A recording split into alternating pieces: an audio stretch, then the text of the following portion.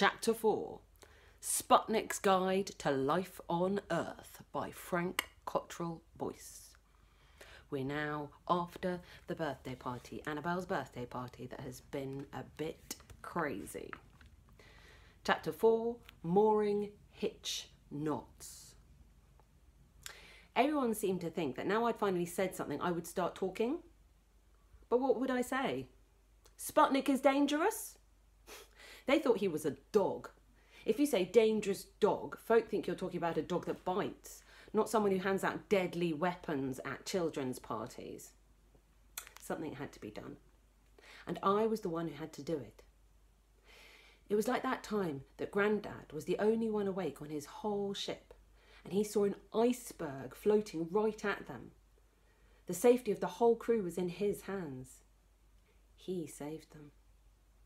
I had to save the Blythes from Sputnik. From the top bunk in Ray's bedroom, I could see a little light shining in Sputnik's stable. I sneaked down to the kitchen. The only sound was the hum of the fridge. I slipped out into the yard. If anyone saw me out there in the dark, they'd definitely think I was trying to run away. But the curtains were drawn, no one was stirring. In the stables, the ponies were sleeping. The chickens kind of purred as I walked past them, but mostly it was quiet. Really, really quiet. I'd never heard quiet like it. No traffic, no voices, nothing. Then something. A kind of slimy cough. My heart shrank. I must have gasped or something because Sputnik poked his head over the stable door. Is that you, Prez? Come in. I now know that the slimy noise was a cow coughing. Now, if I hear one at night, I don't even notice. It's the country version of traffic noises, but I didn't know that then. Sputnik had really made himself at home in the wee stable. He'd strung up a hammock in the corner using a proper mooring hitch knot. He'd turned the dog basket upside down and made it into a kind of bedside table with a red, note, red notebook on it, a torch, and a pencil. The reason I asked you to come over. You didn't ask me here, I just came. Is that I have something very serious to say to you. I think you have to tell Mr. and Mrs. Blythe that you nearly killed Annabel and all her friends on her birthday. You're a danger to this household. Really, you should go back to the temporary. I did what? It was you who nearly killed them. You gave her a lightsaber. I gave her a toy lightsaber. You made it into a real lightsaber. It was her birthday. Who would make a child play with a broken toy on her birthday? You need to show more consideration. No! You need to show more consideration and, and sense and, and. We're arguing. That can't be right. The Mellows family always sticks together. Let's agree to never argue again. You armed a five year old. She could have decapitated me. Actually, lightsabers are rubbish at decapitation. If you get me into trouble, they'll send me back to the temporary. And if I go back, you can't come with me because they'll think you're a dog and dogs aren't allowed. Are you. Tears seemed to fill his big brown eyes. Throwing me out? No. I'm saying we have to not cause trouble. We have to be good. Oh, okay, okay. I'll be good if you will. Come on, let's fix the tree. Fix the tree? How do you fix a tree? You don't say read the manual because and and don't say read the manual because trees don't have manuals. What made the tree fall down? You did. Gravity. Gravity pulled it down, so gravity can put it back up. Gravity pulls things down. It does not pull things up. Gravity is a one way street. Sputnik opened the stable door and strode out into the yard. Even the most one way street ever, he said, has its twists and turns. Ow! That moonlight's a bit strong. And he pulled his goggles down, stuffed his red notebook in his backpack, and set off towards the garden. The moon shone right on the tree trunk, lighting up the cracks and ripples in its bark. Sputnik climbed onto the trunk, and I followed him along it. The tree looked bigger and more wrecked than it had in the daytime. Bark crunched under our feet, branches creaked, leaves rattled. A bird that must have been hiding flew up in front of us in a whir of wings. The, the moon sailed overhead. It was like being on a ship. Sputnik stood still, licked his finger, and held it in the air, as if he was testing the wind. North by northwest, he said, jumping off the tree trunk. Couldn't be easier. I can't feel any wind. I'm not talking about the wind. I'm talking about the gravity stream. The tree twisted as it fell. All we've got to do is twist it back up. If we can just get the tree upright. How are we going to get a tree upright? I'm a boy, not a crane. Sputnik sucked his teeth. Hmm, easy. We'll use the shed. He put his back to the wall of the shed and started to push. Come on, let's shove it. The wooden shed stood on a concrete platform. When we shoved it, it scraped across the concrete. The door shook, the window rattled, the latch jiggled. What are we doing? We're trying to launch the shed. Come on. Launch a shed? Gravity's not a sleepy bulldog. It doesn't just plonk itself down on the ground. Come on, shove harder. It comes in waves. Push it sideways. Way out there, two black holes bump into each other and uh, nearly there. Come on. That sends huge gravity waves rolling through the universe. One, two, three. Ugh. The waves break on your planet, and you've got gravity swishing and swirling everywhere. Very handy if you know how to use it. I was expecting the shed to drop off the ledge of concrete onto the grass. It didn't. Very, very slowly, the end drifted upwards. The back end was still touching the ground, but only touching it like a balloon, not really resting on it like a shed. One more little nudge.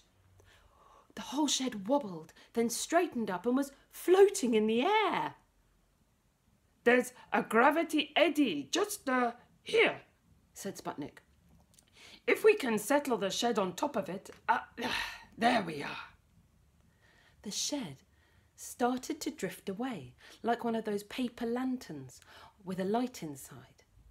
When it was a few feet up in the air, Sputnik jumped. No, he didn't jump. He leapt. He, he bent his knees and sprang, catapulting himself through the door of the shed. He reached into his backpack and tugged out a bright blue rope.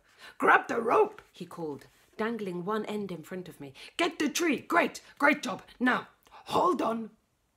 I had slung the rope round the biggest branch. Can you tie it on? Of course I could. Grandad was always very clear about the importance of being able to tie a good firm knot. I could do a clove hitch, a half hitch, a reef, a stopper, uh, that, those are all types of knots, by the way. I don't know if you've ever tried tying knots. All good sailors know how to do a good knot. Sorry, that's me, not the book. I'm telling you that. Just tie the knot. I tied a proper bowline knot, grabbed a handful of the lag, and we pulled it tight. Next thing I knew, I was leaning in through the, dead, uh, the shed doorway with my legs dangling behind. Sputnik pulled me in. Welcome aboard, he said. Climb right in. We need the weight. Won't the shed stop floating if it weighs more? Ah, you really don't understand a thing about gravity, do you? The more mass a thing has, the more gravity it has. The more gravity the shed has, the more easily it will lift at the tree. We leaned out of the door. The shed floated higher and higher until the rope grew taut. It tugged at the tree. Ah, there's a picture here. You see, there's the shed floating and the rope attached to the tree. So as it gets higher, the rope goes taut and then pulls the tree up. Jump up and down. That usually helps. We bounced around inside the shed for a while, making it rock from side to side. Soon it leaned sideways as though it was taking a breath, and then shot upwards so fast that we sat down, giggling in surprise.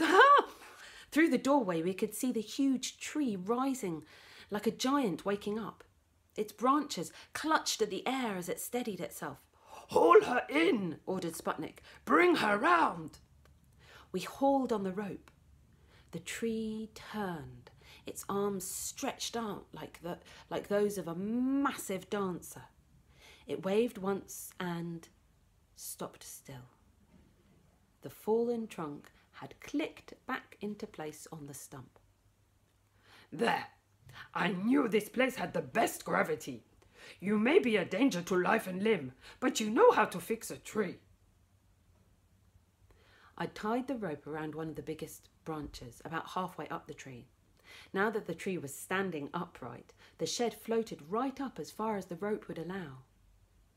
We sat in the doorway, looking down on the treetop. Look what I found in the branches, said Sputnik. It was the red lightsaber. I didn't want anything more to do with lightsabers. I just wanted to sit and look out across the farm and the hill. Quick little shadows fluttered all around us. Bats, said Sputnik. Going back to their home in the tree. Everything went hush. Sounds we didn't know we were listening to stopped, as if someone had pushed the world's mute button. A feathery ghost shape, a feathery shape ghosted by. Barn owl, said Sputnik. Did you hear how everything went quiet?